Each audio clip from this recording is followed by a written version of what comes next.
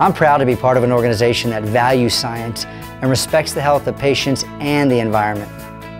The International Academy of Oral Medicine and Toxicology, the IAOMT, is an organization made up of dental, medical, and research professionals.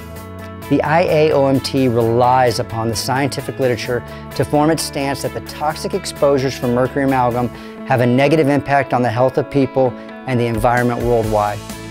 Here in the United States, the dental profession is currently the largest user of elemental mercury, one of the most toxic elements known to man. Unfortunately, dentists are responsible for using up to 30 tons of elemental mercury annually as a component of amalgam restorations, otherwise known as silver fillings. These silver fillings are made of approximately 50% elemental mercury that continuously off-gasses hazardous vapor which exposes the dentist, the staff, the patients, and ultimately the environment. The IAOMT has been the leader in determining safety measures to protect patients and dental office employees from the toxic release of mercury during routine dental procedures. Additionally, our members do not place mercury fillings, and for those patients who do have amalgam fillings, we utilize every safety precaution available to protect them when these fillings have reached their end of life and it makes sense to remove them.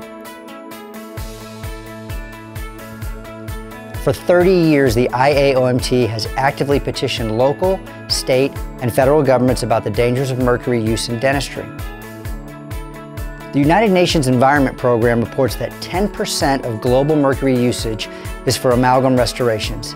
This results in up to 340 tons of dental mercury being released into the global environment each year.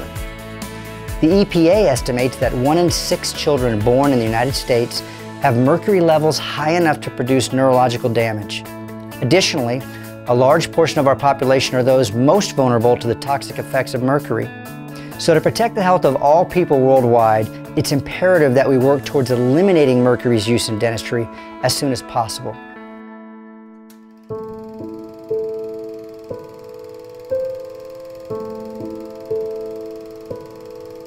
In the 1950s, Chisso Fertilizer Company had begun to dump its toxic wastewater containing methyl mercury, a byproduct of the fertilizer manufacturing process, into Minamata Bay. This deluge of methyl mercury from Chisso contaminated the local fisheries, which the inhabitants of Minamata relied upon for jobs and sustenance. The result of contaminating the local food supply led to many people exhibiting strange symptoms, tremors, difficulty with speech, numbness in the limbs, and seizures, just to name a few. The impact of this methyl mercury exposure to the children and, and unborn was devastating, leading to many deaths and disabilities.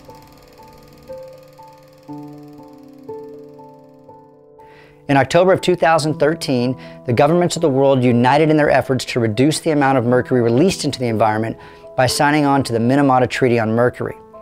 This groundbreaking treaty will require governments to implement a number of measures to drastically reduce the amount of mercury entering the environment by banning its use in a number of various sectors by the year 2020. While scientific evidence has proven beyond a shadow of a doubt that exposure to mercury as released from amalgam fillings harms human health, the legislation and political policies necessary to safeguard the health rights of patients lags further behind.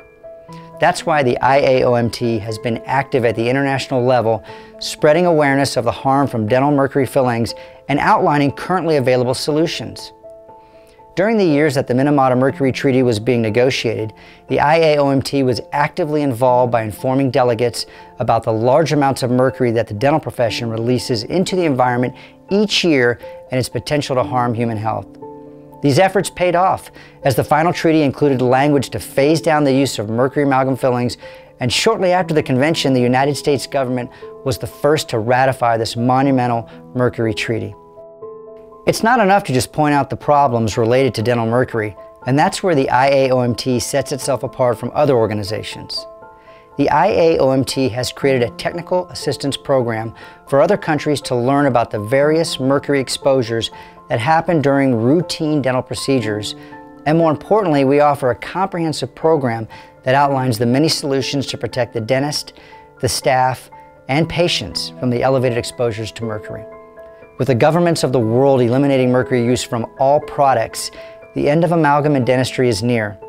But we're not out of the woods just yet, as there are still literally tons of mercury in the mouths of over 120 million Americans that will eventually need to be taken out safely and disposed of in a way that does not harm our environment.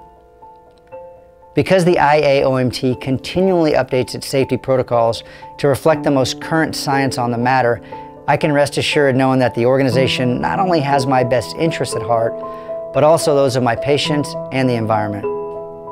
To learn more about the International Academy of Oral Medicine and Toxicology, please visit our website, iaomt.org.